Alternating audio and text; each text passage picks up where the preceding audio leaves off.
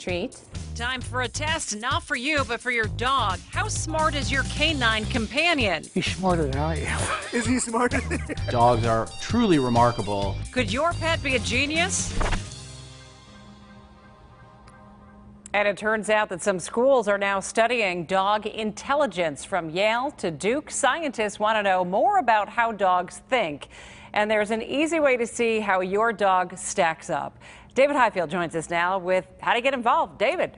Hey, Susan, yeah, some dog owners really care about this. They want to be able to say their dog is smart. But what does smart really mean when it comes to a dog? Well, we're about to show you a way to learn a lot more about how your dog thinks. And there may be more going on in their heads than you realize.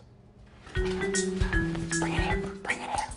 Good job, Molly. We love them, and it feels like their love is unconditional. But what are they really thinking? How smart can a dog be? Sometimes I think they may be a little bit smarter than we think because I think that they game us to get treats. Emily and Theo Andrianis of Regent Square have two German short haired pointers. Meet Cooper and Boone.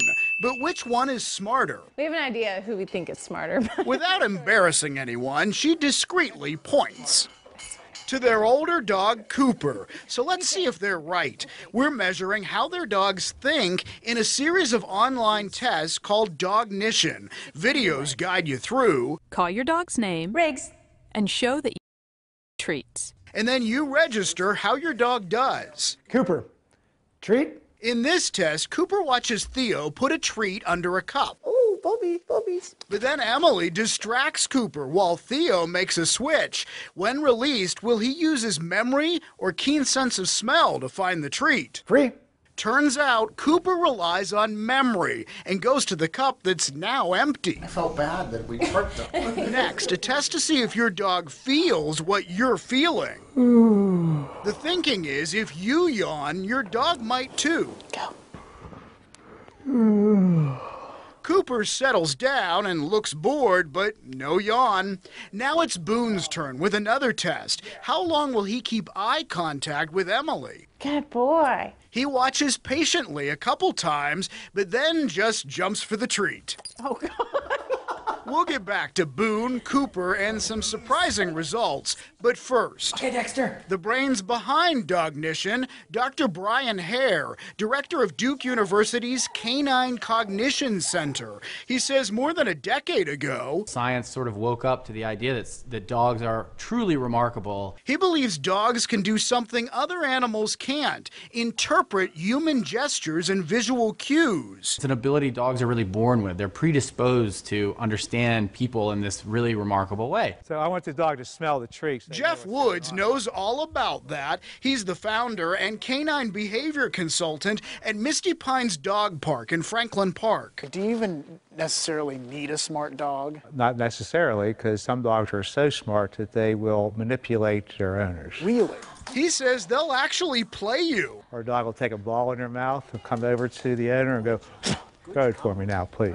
When we're talking about dog smarts, he says we often mean problem solving skills. As soon as I put this over his head, just start timing him. For instance, how long will it take a dog to get a towel off its head? Ajax shakes it off in four seconds flat. Good boy. All right. A different technique for Lambert as it slides off, also in four seconds. But Cochise Holy man. whips it off in just a second. Yeah, there you go. Now back to Cooper, Boone, and the results. Remember how their owners felt like Cooper was smarter? Well, listen to the results for Boone. The last line in Boone's results this is a sign of true genius. so this, this was really funny to us. Turns out Cooper does well on practically everything, but Boone does outstanding on the. Treatsy? Emily shows she has a treat, but hides where she's putting it. Can the dog figure out the paper that's angled up has the treat underneath? Boone gets it right every time, but Cooper hmm.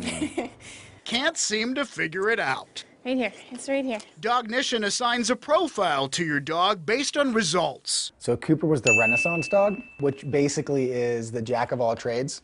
Um, very well rounded. Boone was a maverick. He can tackle problems on his own. Both Theo and Emily say the test is fascinating and now see Boone in a new light. I think that was definitely the, the big surprise. Shocker. So Boone will go to college. Yeah, Boone might be headed to college now. Now, the initial test costs $19 per dog. We have a link to Dognition at our website, kdka.com. And unless you want a working or show dog, affection is probably more important to most of us mm-hmm. than actual dog smarts. You want a dog that likes you. Yeah, of course. And you Yeah. have all these little things over here. What do you Yeah, got? all right. Well, this is a toy to kind of keep your dog's brain active. So you put treats in in behind here, and then they have to figure out how to open this up. So this is a drawer. I mean, that really is it's problem solving. And I will admit, this one I still I have not figured out how to open this. But if you go to a pet store nowadays, they have more and more of these types of toys that really stimulate your dog's brain. Fascinating stuff. I love it. It was very cool. All right, David, thanks so much. Sure.